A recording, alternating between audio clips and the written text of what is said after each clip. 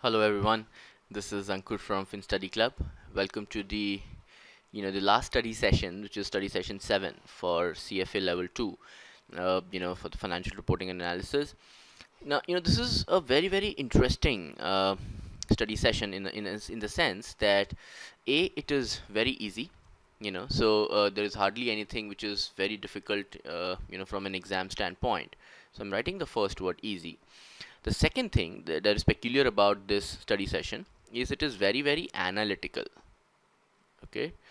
The third thing which is which I like the most is that it connects your level 1 concepts very well to the concepts of forecasting you know normalized earnings that you've learned in your equity level 2 so this typically is basically the work that you shall perform as an analyst. So no wonder that CFA Institute has been pretty particular in asking a couple of questions you know from this. So the study session has got two readings basically. Uh, you know mm, some substance out of the two is common but I would like to treat them you know pretty separate. Uh, reading number 21 you know which talks more about the earnings quality and reading number 22 which is talking more about the uh, you know the the techniques of analysis which is basically you know the full case that they've taken and uh, you know they've analyzed different ratios out of that. So so we will follow the same pedagogy pretty much you know um, the, the same sequence. So overall you know if I put together I have about 25 slides and, and, and I think that we should be you know uh, home in about 45 minutes. So this is going to make great sense you know this is anyways going to make some sense but it's going to make great sense if you have a calculator with you because it's going to be uh, pretty hands-on number one. Um, you know you have let's say a printout of these uh, you know slides or at least you are able to make some notes that's going to be the best you know obviously. My suggestion is after looking at this video just look at any book that you're referring to be uh, the or you know any other notes of you know Wiley or, or, or any any particular thing. So that that's going to take not more than 30 minutes to just scan through. So what I've done is you know each paragraph from core book or you know different notes have been taken summarized and you know have present has been presented pictorially so so welcome again uh, to this study session 7 and I'm going to quickly start with the first of the readings here which is reading number 21 yeah so here it is reading number 21 which talks about the evaluation evaluation of the quality of the financial reports. Now this is something that you've already done in your level 1 you know the last study session there also. And uh, you know therefore you know a lot of students uh, do not find this very very challenging which is rightly so. You know a couple of points I'm also not going to spend a lot of time on this. A couple of points you know uh, need mention here which is whenever we talk about the quality of the financial report we're talking about two aspects. One the quality of the earnings. And the second is how well is that earnings reported. Different aspects very very different aspects. So the first aspect is very very measurement related. How well has the business scenario been measured? The second aspect is once measured how well has that been reported disclosures you know how detailed and you know what is the quality of all that. So they're very very two different aspects. You know obviously it's a matter of common sense that this will precede this. Obviously you know first you will have to measure the earnings well and only then you can talk about reporting that in, in, in a good sense. Well in terms of the earnings quality we're talking about two things. One first is the quantity of earnings and second is the sustainability of earnings. Honestly speaking like you i was uh, also a little surprised to find this quantity here. And you know but rightly so the, the context here is that when is earnings of good quality? So CBOK has very well explained that earnings can be considered of good quality only when it earns sufficiently enough to cover the cost of capital in a way that your economic value addition should be a positive number. Because unless and until that happens the firm will always be under pressure to manipulate that you know and obviously because everyone would like to cover the cost of capital. So that's like the basic hygiene factor that has been covered. The second and a very very important aspect and a relatively more important aspect is the sustainability of it. The earnings are said to be of good quality only when a fall or an increase either ways is sustainable. If there is a one-time element you know in in terms of the earnings then this clause gets defeated and therefore you have a, a non-sustainable earnings coming out of that. Talking about the reporting quality you know as a second aspect I'm, I'm going I'm going to come to this table which is you know very well captures all the scenarios. But before that it's talking about the reporting quality. Like I said once the earnings have been correctly measured you got to talk about the disclosure of it. And when will the disclosure be said to be of good quality? When it helps in decision making. You know sometimes you have a lot of assets. I'm taking a very random example from pensions. Your pension assets are 100 and your pension liabilities are for example 99 this is a much more decision oriented scenario compared to just this. So plan assets net plus 1 okay so if an accountant shows like this you know then the reporting quality is not said to be like of good quality okay now obviously under different standards under US GAAP versus IFRS, sometimes a particular disclosure mandate is given. So, for example, in this context, the pension uh, accountant is always told to you know report the net pension assets like this. But the disclosure that are required in notes to accounts are fairly detailed. There is a reconciliation of PBO, there is a reconciliation of plan assets. If that is not given, and an accountant just mentions plan asset plus 1 then obviously in terms of the reporting quality it is fairly bad okay coming to this particular scenario of the table here this table very well captures the four scenarios that are possible which are the earnings quality high or low and the reporting quality high or low now this is a matter more of common sense that if the earnings quality is high then the firm obviously will not be motivated for a bad you know type of disclosure. Now let me just explain you know the earnings quality if high. That means there is absolutely a bona fide intention. And in terms of low quality there is a mala fide intention on part of the accountant not to show few things so point I was driving home is if the accountant is bold enough to report and sorry to measure the earnings well, there is very less chance or virtually no chance that he will be you know um, not showing it properly. So this particular scenario is you know is what we practically say doesn't exist the first scenario let me just name the quadrants 3 and 4 so the first quadrant is obviously the best scenario that an analyst would like to be. And let me name some companies Infosys or let's say Apple. So these are the companies uh, which are obviously you know strong enough to have only the sustainable part of the earnings without any manipulation as such and report them you know in, in absolutely decision oriented manner but what is of interest, you know, to this audience, which is you, and to the speaker, which is me, is this quadrant number two and quadrant number three. Quadrant number three is easy to understand, honestly. And the moment I'm going to put a name, Satyam, stroke Enron, it will automatically be clear what does quadrant number three trying to say. Neither the earnings have been measured well. The policies, etc., that they have used, you know, to calculate the earnings are very, very wrong and at the same time the disclosure of that also has not been you know in, in terms of a ball of fighting so there is a lot of malice you know while reporting. Hence we call it a fraud scenario. What is very interesting is this particular quadrant. Okay it has got a very unique characteristic that the earnings are of low quality which means they are not sustainable or there is something which should not have been. But the firm has been very transparent in disclosing that let me give you a scenario. Um, company A needs to supply to company B who will finally supply to company C. So that's how you know the chain works. Now the order let's say is of 100 units. Some reason restricted A from supplying to B. But that doesn't mean that the B will not honor C's commitment. There is always some kind of a reserve stock in opening stock which B can utilize. Now imagine B was following something called as LIFO and obviously it's a 20 year old firm. So in case of LIFO, the closing inventory as you're aware is always at the earlier prices.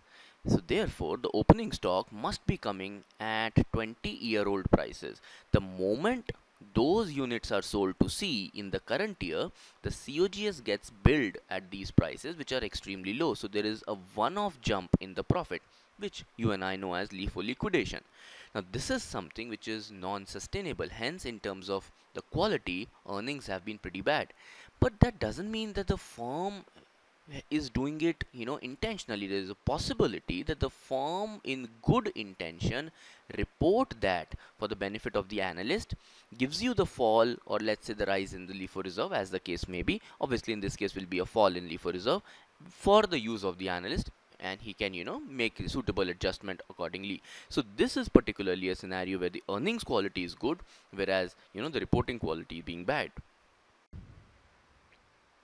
So that brings me to a very similar table considering uh, now you have understood the different levels of reporting and earnings quality. I'm going to put one here and two here signifying that earnings quality will precede you know the aspects will precede the reporting quality. So this first scenario is clearly the best scenario that you would like to get into and that is your first quadrant that we are talking here. The last scenario which is both of them are bad is basically uh, this quadrant which you know we have numbered quadrant number three. And you know the rest second third and fourth are basically the you know gray matter between the white and the black wherein the earnings quality will turn bad but it is still remain decision useful. That means the firm is still bona fidely explaining you know the scenarios etc to the analyst.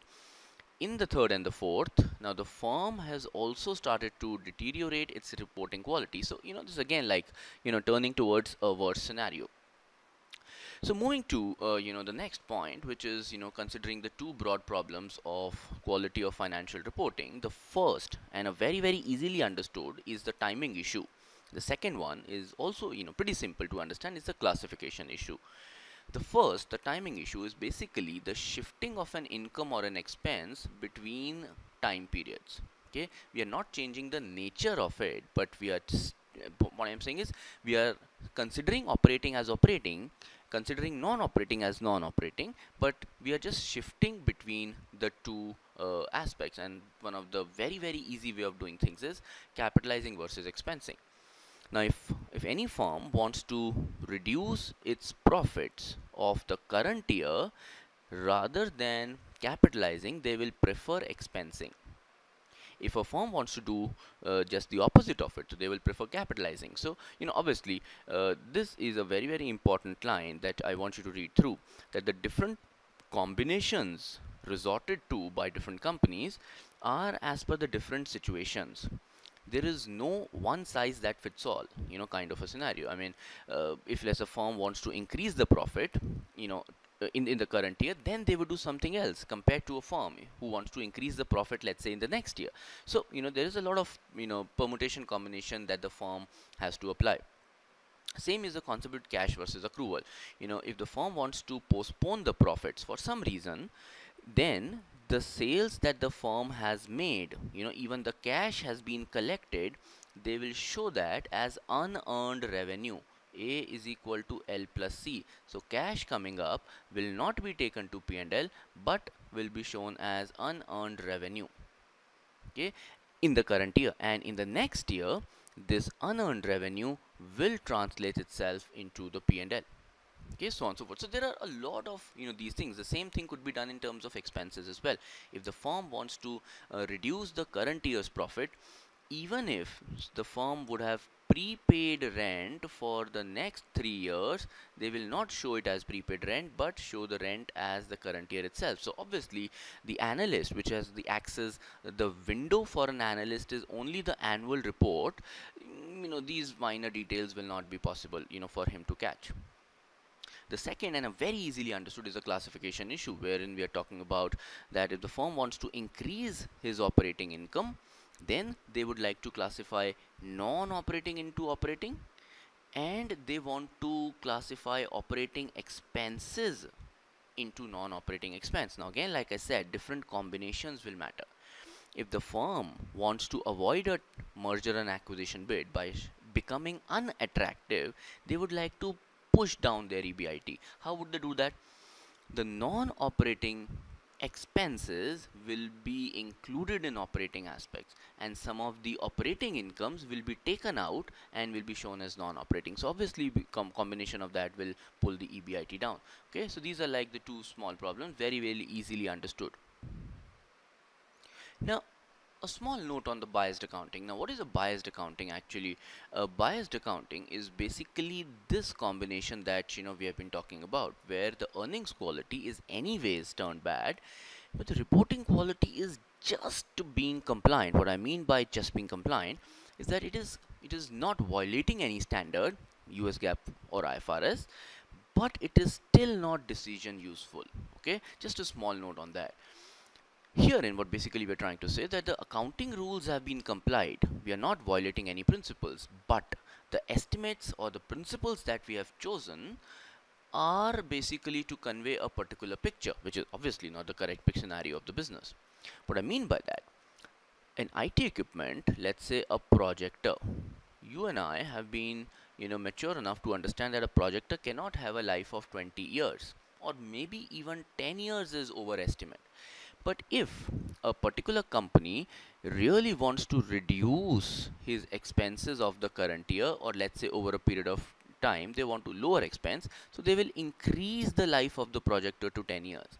So in a way the accounting rule have been complied. They are following straight line method and they are rightly calculating the depreciation. But the fact of the matter here is that the estimates of life that they have chosen in context of the asset and the business is really not the correct picture okay this is forcing the analyst to believe in something that doesn't exist by taking the incorrect accounting policies. Okay the question is this bias can be spread over what all aspects? The bias the answer to that is can be spread over income statement the balance sheet and the cash flow statement. Your income statement could be biased your balance sheet could be biased you know between the operating versus non-operating assets etc you can still you know make some manipulations and cash flows. You know you can take something out of CFO and show in CFI vice versa and all that stuff. So, so all the things can be biased stroke manipulated and does the analyst have any way to kind of find this bias? Answer is a big yes. You have so many things as an analyst that you can use to find out if the income statement balance sheet and cash flows have been biased. Now a simple point here and as a tip you know i, I can give you uh, you know being my uh, being my dear students and analysts is that anything that you do here is not conclusive. Everything is suggestive. What i mean by suggestive if there is some kind of a convergence uh, sorry uh, if there is some kind of divergence happening with the peers or industry average then it not necessarily will mean that there is a fraud in the company. Let me take an example. Mm, the gross profit margin of my subject matter company is 10% whereas the industry average is about 18% okay that clearly tells me that there is some bias on the income statement because you can't really be you know at a gp level you can't really divert so much. But there might be a particular scenario because of which this truly is true. Now the fact of the matter is that's where the reporting quality comes into picture. Your earning quality is obviously appearing to be bad but the reporting quality can play a pivot role if the company is transparent enough they will explain you the reason for this. Okay? Similarly uh, this is the cross sectional analysis the one that we talked about. You can also have the case of time series analysis where the company's fundamentals is compared to the previous year's fundamentals. There is a lot of interrelationship of ratios that you can establish. You know the typical actions like creation of special purpose vehicle uh, one of the most famous ways of manipulating the balance sheet. You know if let's say there is large fluctuations every year then again that is going to sound out. So point i'm saying is these are all a commonsensical approach b not an exhaustive approach c you know suggestive approach to find out if there is a bias in the uh, you know uh, the, balance sheet cash flow or, or P&L or not. So coming on to one of the most interesting aspect of this reading uh, which is the quantitative models to detect biasness.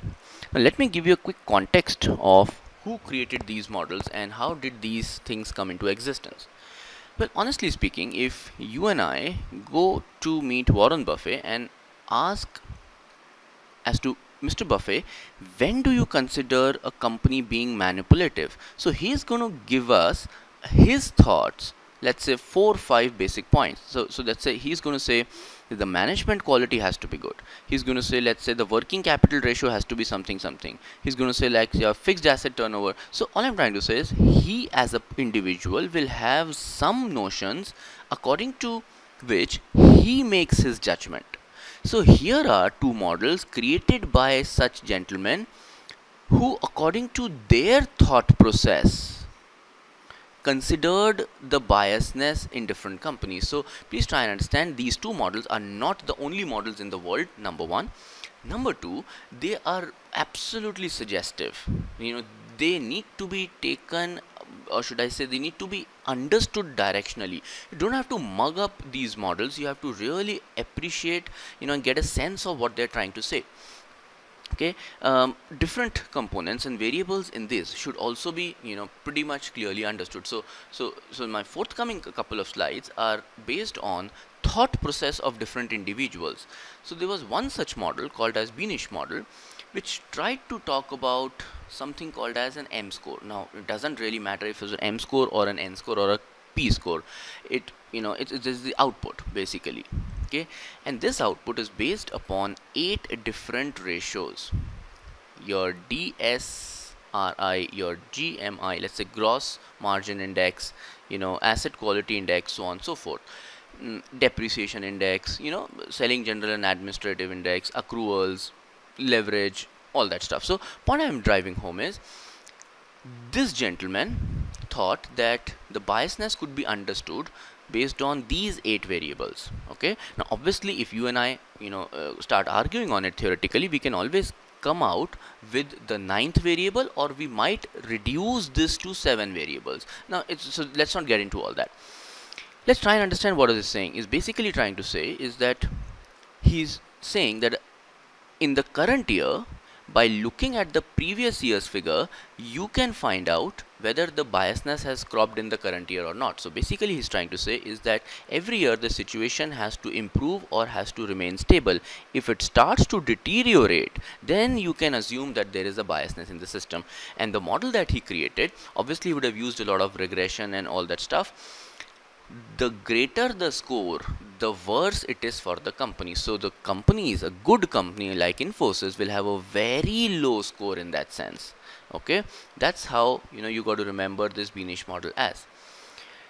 Let's try and understand what does this DSRI means it's like days of sales receivable index. DSRI is basically a negative number what I what I mean by DSRI being a negative number um, previous year 8 days was the receivable and in the current year let's say 10 days have been the average collection period. So obviously the situation has worsened.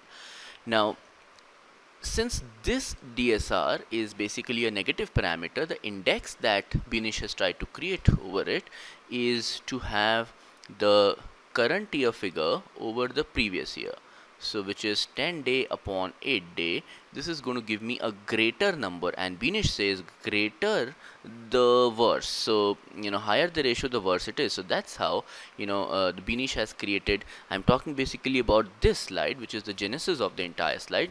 Uh, this particular bullet which is the genesis of the entire slide says some index will have you know the current year's figure in numerator and some will have the previous year's figure in numerator. Now the key is for a candidate to understand how has it been constructed. Now again saying I'm again saying that you don't have to ratify or remember all that but you just have to appreciate and understand that. Okay let's take another positive index which is a gross margin index. Now gross margin if it is 18 in the last year and 20 in the current year this is a positive thing higher the worse so therefore the way this time he will do is he will try and create the current year performance in the denominator because higher you know the worse which means if the previous year's one was higher then means it is you know bad situation for the uh, company okay so the formula that we are choosing has got two things here. One is the you know uh, let's say uh, SGA selling general and administrative expense. Okay but you got to understand higher the worse but here there is a negative sign. Okay so compared to DSR where there was a positive thing a negative ratio with a positive sign and a negative ratio with a negative sign are just opposite to each, each other. Okay? So just just read through your core book and you will be you know easily comfortable to find out where you will have to use the current year in the numerator and where not. So let me if I let's say uh, you know let me exemplify that.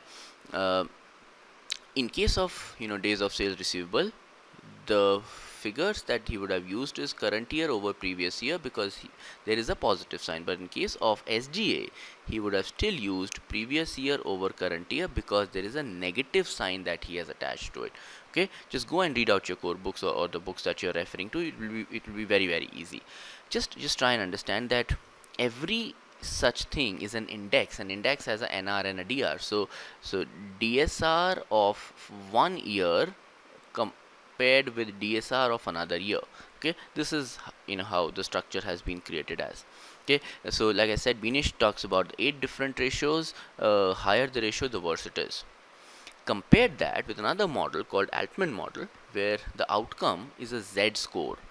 Altman basically use five different ratios all of the current year. So there is no comparison with the previous year okay? This is something that you got to remember the second aspect that you got to remember here is that obviously you don't, don't need to remember all five ratios, but you got to remember that all the ratios, the denominator is common, which is the total asset. Okay. Another very, very important aspect and the most differentiating aspect from Beneish is the fact that higher the ratio, the better it is. Okay, so here Altman basically tried to link things like working capital, you know, net profit margin, sales to total assets so basically trying to decompose the firm's performance into different aspects. Okay? Pretty straightforward pretty interesting you know these models are. So let's talk about a slide which is pretty relevant you know uh, in the current context. And I'm going to come back to this slide in my next reading as well. So this is you know pretty much upfront communicated to you as well. Uh, well, the slide basically talks about that every earning, the quantity of every earning, let's say it is dollar hundred pat of PAT, will have some component coming out of the cash transactions. What I mean by that, it is the cash sales, it is the cash expenses, it is the other cash incomes. Okay. Now, obviously, you are aware that an income statement is created out of the accrual component and uh, you know accrual component here has been further divided into two aspects I'm going to come to that later but fact of the matter is that the idea is that this hundred dollar of PAT should be divided between the cash component versus the accrual component. This component is something which needs to be discounted by the analyst. What I'm trying to say is that this is the place which is open for manipulation I am not saying that it has been manipulated for sure, but all I'm trying to say is that there are chances that it might be, and hence a lower weight needs to be given to this particular component. So, if a particular company is showing $100 out of which $80 are coming as accrual, this is still a worst case scenario compared to a company which is, let's say, mm, showing $95 uh, and which is showing only 10% coming from accrual. So accrual portion is really something that as an analyst is a matter of worry for me.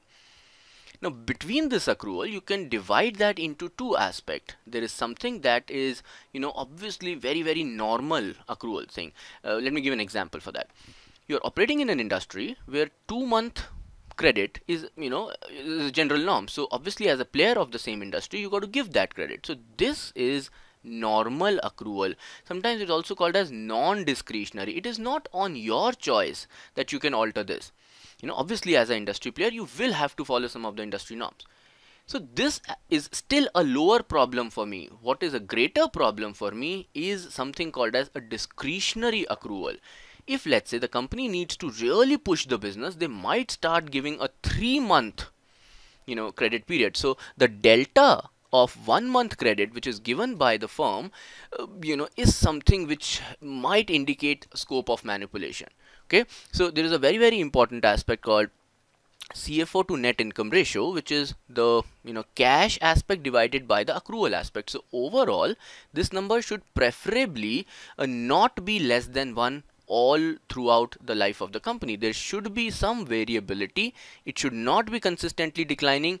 You know it should remain flattish you know over a period of time. And obviously like mean reversion over a long period it should remain equal to 1 okay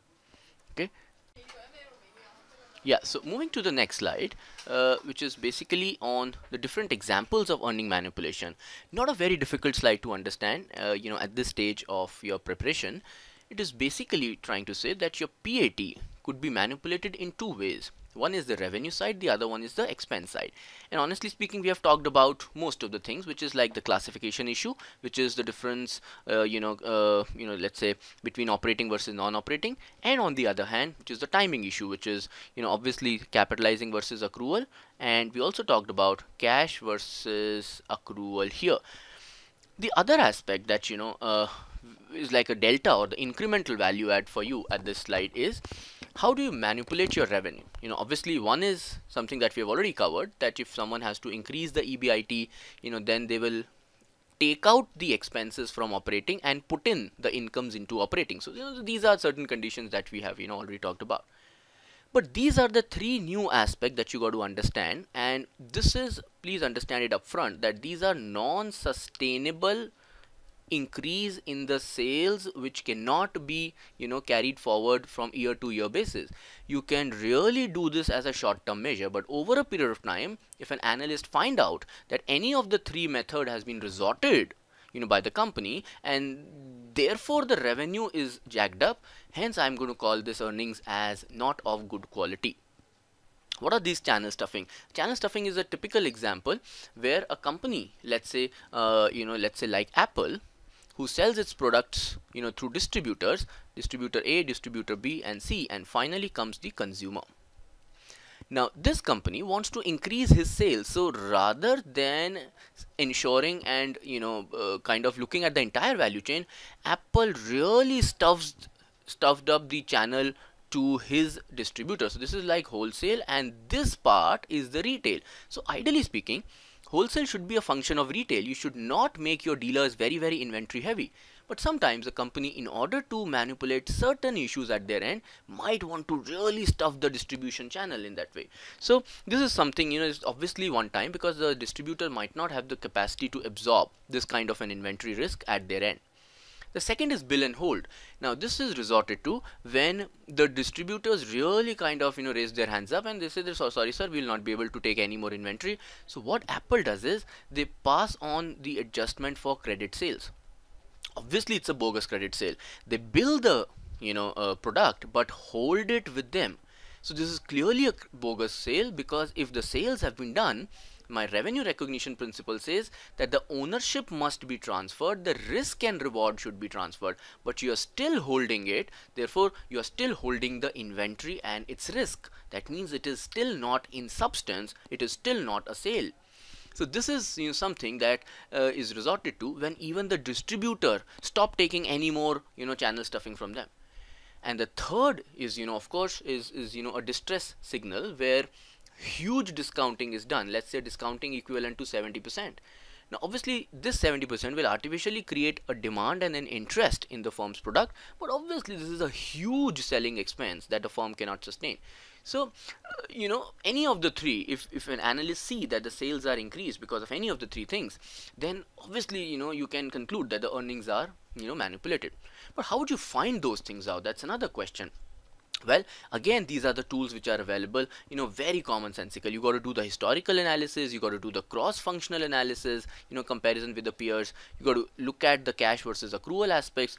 If someone sees that your unearned revenue is increasing considerably year after year that means there is something incorrect with that. Okay in some cases the analyst may want to check the physical data you know if obviously given a chance because otherwise companies will not allow the analyst etc to kind of check their physical stocks. But if given a chance they should always look at that. Imagine a stockyard where this much space is taken by one car and you can imagine there are let's say only 20 cars that can be parked in this particular stockyard. But the balance sheet says that there are 200 cars being parked. So obviously you know you can make a sense that compared to the physical space you know the number that is being shown is not correct. So you know there is something that you can find out in in, in that case. And obviously the related party scanning is something that you know you have to be in any ways worried about you know as far as this particular you know case is concerned So moving to the last slide of this reading, fairly simple. So where can an analyst find the risk related to the company? Obviously, you know, annual report is one of the biggest source and therein, you know, you have different components like financial statements, the auditor reports, the notes to financial statements, management disclosure and analysis. I mean, these are all the commonsensical reading that must be done by the analyst in order to you know analyze a company qualitatively very very important aspect from you know the analyst standpoint and obviously you know you have some other details like you know SEC forms NT you know your newspaper magazines media credit rating agencies etc etc so you know all in all you know pretty simple uh, and you know uh, qualitative reading this was you know reading number 21 i hope that you know you guys have enjoyed. So i'm going to you know um, uh, looking forward to speak to you in my forthcoming session on reading number 22 which is equally interesting. Again a very very short thing but it will involve a little more you know calculation aspect. So uh, talk to you soon then. This was ankur from fin study club. You know uh, have a great exam. Thanks